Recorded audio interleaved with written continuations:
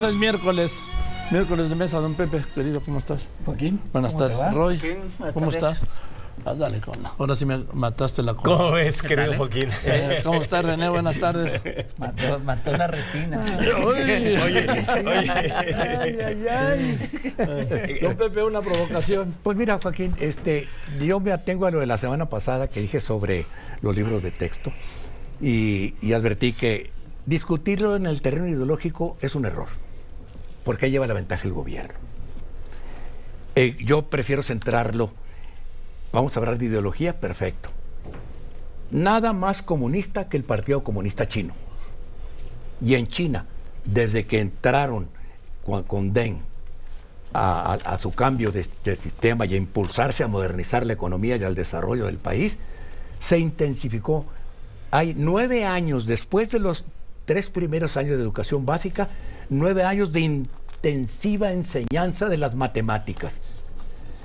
En cambio, con lo que está planteando aquí la versión región 4 de marxismo que tenemos, eh, eh, que, que ayer vimos un poquito de, de ella, si China hubiera seguido estos principios que traen los libros de texto, China ahorita no sería la segunda economía del mundo, sería la número 50, ¿eh?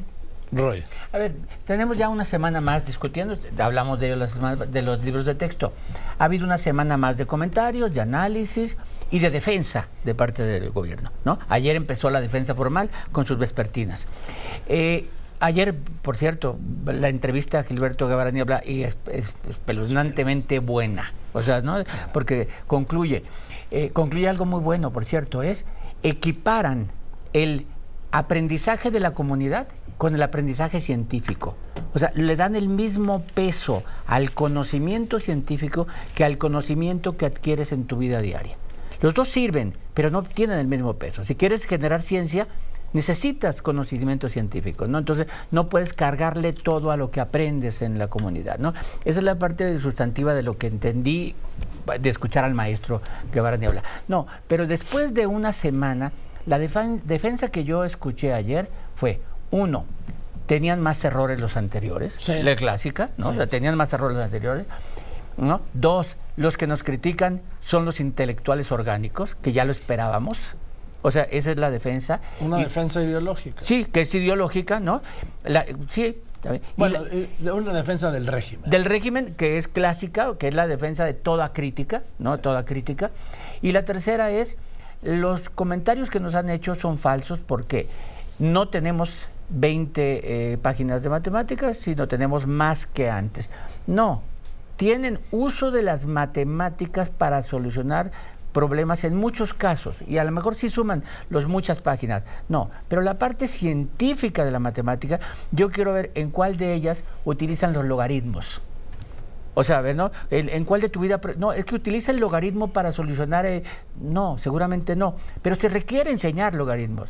Porque es parte de la ciencia, es parte de lo que un científico requiere tener desde su educación básica para seguir estudiando ciencia. Entonces necesito generar científicos también. Entonces, no, yo creo que los estudiosos de ese tema van a dar, es perfectible. Yo no critico la nueva escuela mexicana, es un nuevo modelo, algo así, pero pues hay que hacerla bien, es el asunto. No hay que hacerlo mal. Si lo vas a cambiar, cámbialo bien, es el tema. René. Joaquín, eh, el hecho es que no escapa la posición presidencial a lo que ha venido siendo su política desde el primer día de gobierno. Eh, ah, escribiste el, día de hoy sobre cuál ha sido su tendencia. Eh, coincido con ello y lo he expresado desde un inicio. Él tiene, sí, la mañanera como un instrumento de propaganda. Eh, Y de gobierno, De de gobierno, política. sí, de gobierno. eh, De política. Con la preponderancia de la propaganda política, de hacer política y también de ideologización. ¿Cuál ha sido, cuál ha sido la gran misión, tanto en el discurso como en la práctica política del presidente?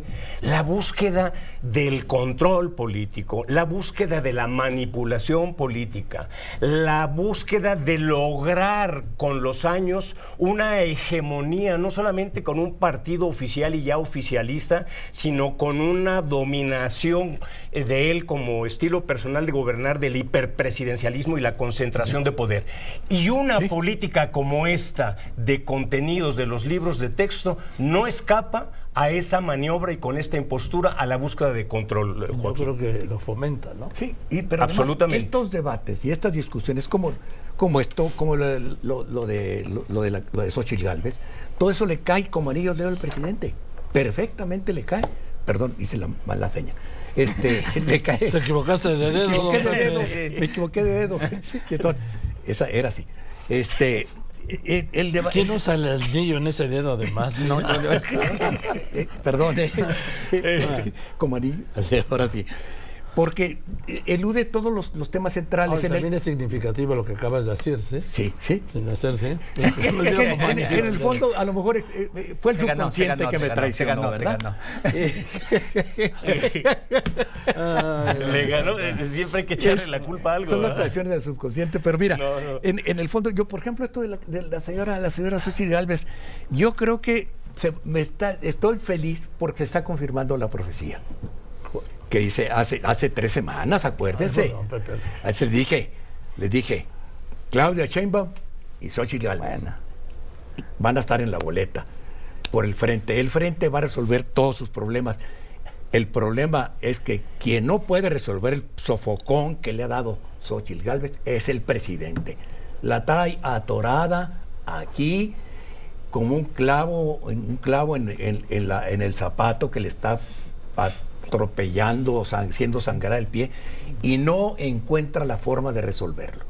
Porque para el presidente, el trato, el trato con el feminismo, las causas feministas, las causas de las mujeres, que les duelen a las mujeres, le son muy ajenas al presidente. No, no, no las entiende, no las comprende.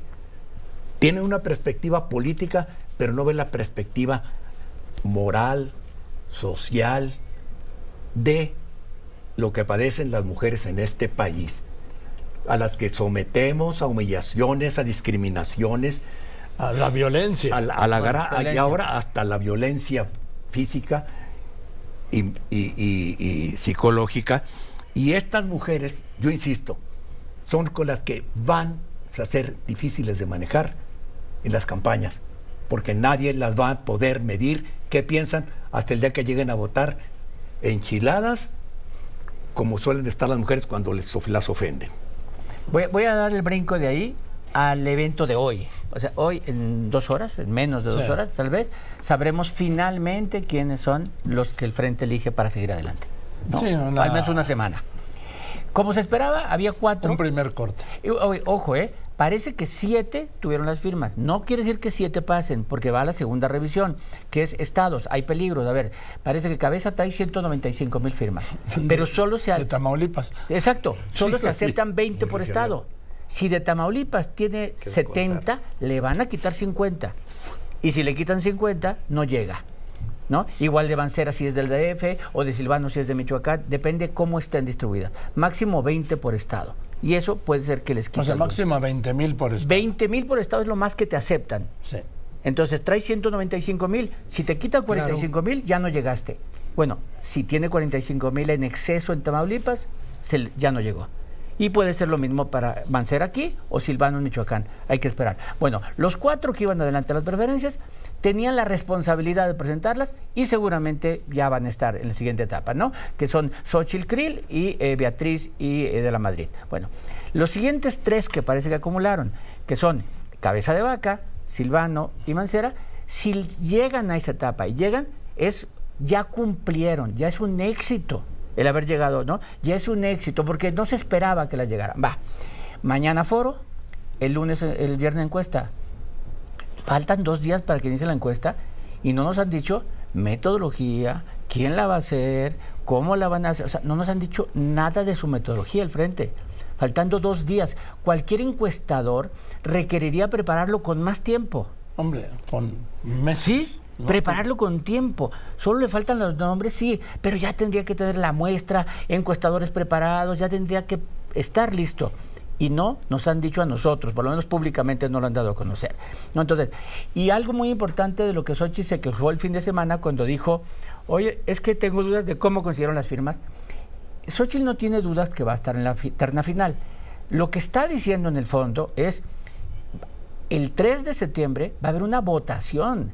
Vamos a vivir urnas, acarreos, va a haber votación en el país. Y las firmas están haciendo el padrón electoral de esa votación.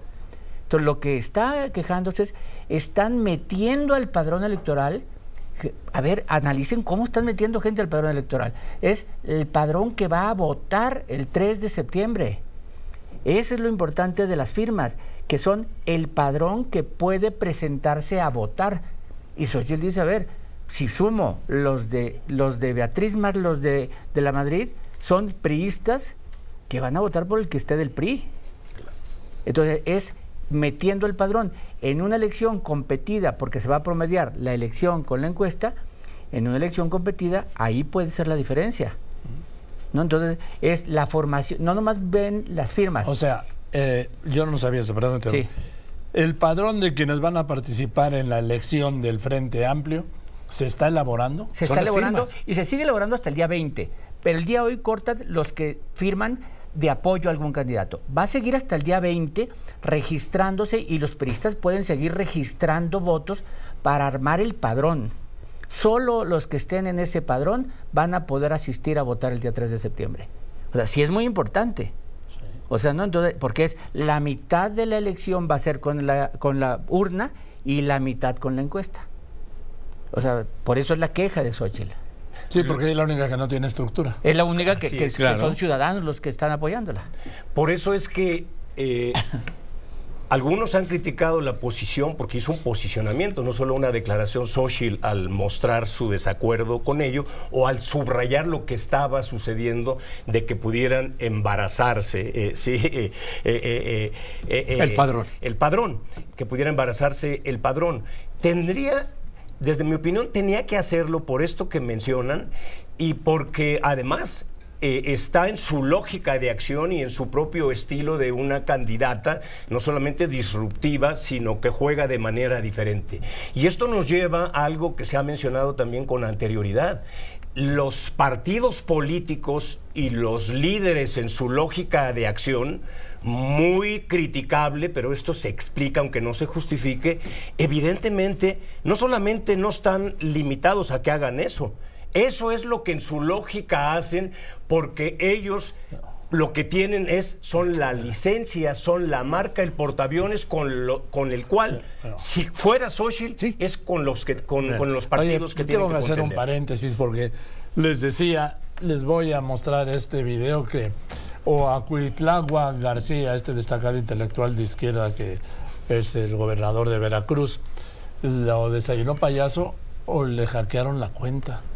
Lo vamos a ver y lo escuchamos. Sí, aparece, aparece primero el gobernador con un libro de texto gigantesco y faltando el respeto, imitando a, a Javier Alatorre. Esta noche en Hechos. Caminito de la escuela apurándose a llegar, con sus libros bajo el brazo, va todo el reino animal.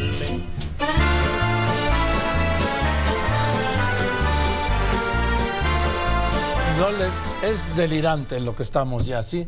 Aparece primero eh, gritando esto, ¿no? Esta noche en Hechos, y aparece con un libro enorme de texto, ¿sí?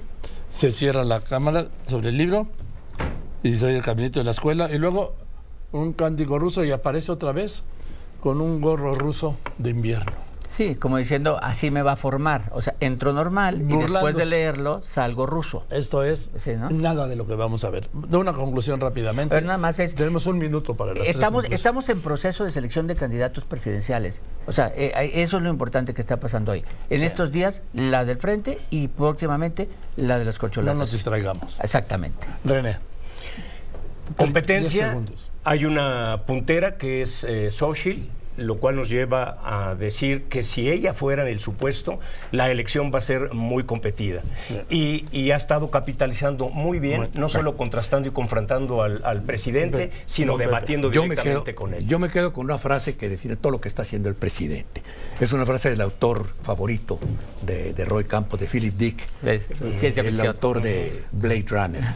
La herramienta básica para manipular la realidad, la realidad es la manipulación de las palabras. Si controlas el significado de las palabras, controlas a la gente que usa las palabras. Gracias, Roy, René. Gracias, Pepe. Joaquín. Eso Gracias, es todo. Joaquín. Muchas gracias.